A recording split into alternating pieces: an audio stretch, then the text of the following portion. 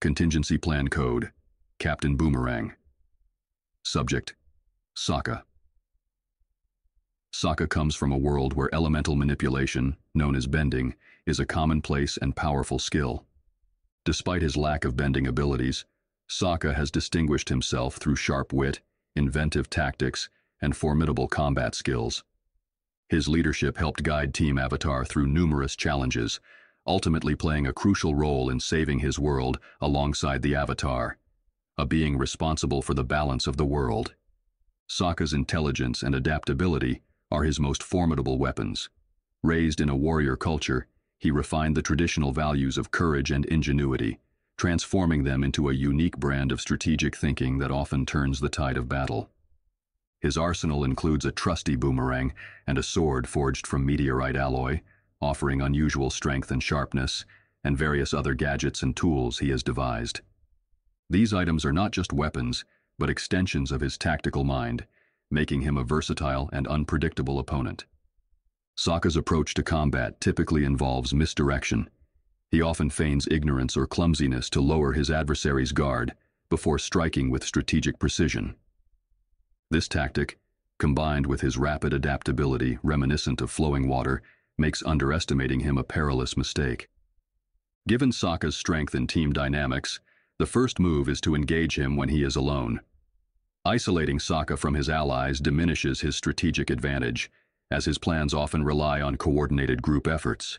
By controlling the environment and timing of the encounter, we can limit his options and force him into a reactive position. The second phase involves his arsenal. Sokka's weapons and gadgets are key to his combat effectiveness. My approach will include specialized magnetic and energy disruption technologies to neutralize and confiscate his meteorite sword and boomerang, effectively disarming his most trusted tools. By limiting his access to these items, we reduce his ability to execute his well-known unconventional tactics. Moreover, anticipating Sokka's use of deception and misdirection, I will employ advanced surveillance and predictive algorithms to see through his feints and diversions. This technology will analyze his combat patterns and predict likely maneuvers, countering his strategic deceptions. My Cowl's integrated systems will be crucial here, providing real-time data analysis during the engagement. When direct confrontation becomes inevitable, the battle will be swift and controlled, employing quick attacks to subdue without causing permanent injury. Utilizing a combination of martial arts, I will engage Sokka in close quarters, where his lack of bending cannot be compensated by other benders. In conclusion, while Sokka may not possess the supernatural abilities of his peers, his intellect, creativity, and resourcefulness make him a noteworthy adversary. Sokka's philosophy of being like water, able to adapt to any situation, reminds me of myself. Water can be as calm as a lake, reflecting tranquility and peace, yet transform in an instant to be as aggressive as a storm, embodying sheer force and unpredictability.